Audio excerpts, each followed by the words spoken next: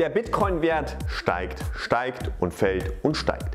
Im Großen und Ganzen Bitcoin-Jahr 2021. Zeit genug, sich in einem weiteren Video mal mit dem Thema Bitcoin auseinanderzusetzen. Heute aber nicht das Thema Bitcoin direkt, sondern die richtige Versteuerung eines Bitcoin-ETF. Was du dazu wissen musst und was du natürlich auch beachten solltest und wo es Fallen gibt, das erfährst du in diesem Video. Mein Name ist Roland, ich bin Online-Steuerberater aus Regensburg und du schaust Steuer mit Kopf. Steuern spart, wer Steuern plant. Zuerst einmal, wer wissen will, was ETFs sind, wie das alles funktioniert, der schaut am besten mal bei Aktien mit Kopf vorbei, unseren Partnerkanal.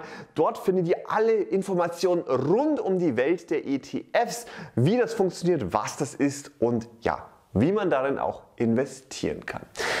Im Bitcoin-Jahr 2021 ging es natürlich sehr steil nach oben. Nicht jeder wollte aber natürlich hier direkt in eine Kryptowährung investieren. Kurz zusammengefasst, ein ETF ist immer ein Finanzprodukt, das auf einem bestimmten ja, Index läuft. In dem Zusammenhang kann es zum Beispiel der Wert des Bitcoins sein oder ein Krypto-ETF kann es ja auch geben, der dann einen kompletten ja, Korb von Kryptowährungen abbildet. In dem Zusammenhang ist es also ein Finanzprodukt, wo mehr mehrere Kryptowährungen zusammengefasst worden sind oder eine Kryptowährung als Index verfolgt wird und in diesem Zusammenhang also du einen Blumenstrauß hast, könnte man so sagen. Das ist auch das beste Beispiel ja von iShares damals gewesen. Wie erklärt man ETFs? ETFs unterliegen in Deutschland zuerst einmal der Kapitalertragssteuer. Das bedeutet natürlich in dem Zusammenhang, die Steuerbelastung beträgt hier 0 bis 25 Prozent plus Soli plus Kirchensteuer.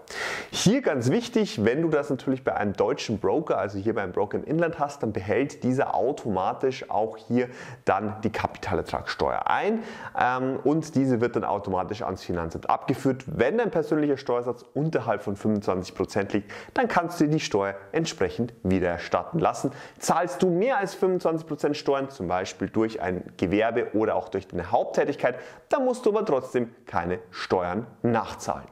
In diesem Zusammenhang der wichtige Hinweis, beim Bitcoin ETF ist sowohl der Verkauf als auch alle Erträge, die daraus generiert werden, immer steuerpflichtig.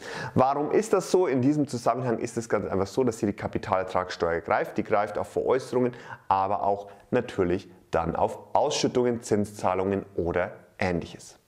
Ein Punkt, der aber seit 2018 neu ist bei ETFs, ist, dass hier auch die sogenannte Vorabpauschale greift. Das heißt, hier wird vorab schon einmal ein gewisser Anteil an Steuern einbehalten.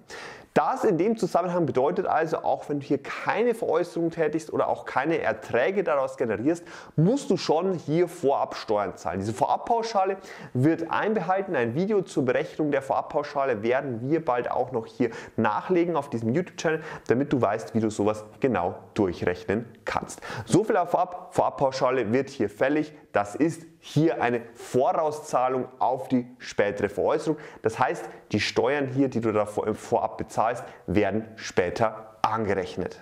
Wichtig in dem Zusammenhang, auch im Bereich der ja, ETFs ist es so, hier gilt der Sparerpauschbetrag von 801 Euro bzw. 1602 Euro bei Zusammenveranlagten. Hier auch natürlich der wichtige Hinweis, das gilt pro Jahr und nicht pro ETF oder pro Aktie.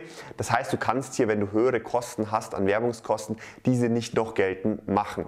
Aber auch der Hinweis, dass eventuell ja Anschaffungs- oder Veräußerungskosten wie Ordergebühren werden dort schon mit einberechnet.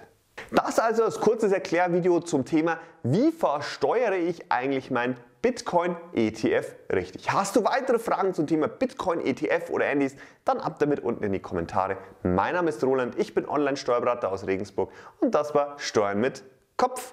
Steuern spart, wer Steuern plant.